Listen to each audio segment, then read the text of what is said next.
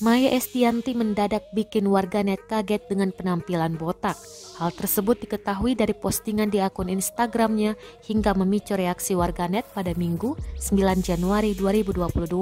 Usut punya usut, Maya Estianti hanya iseng menggunakan efek dari kamera di handphonenya.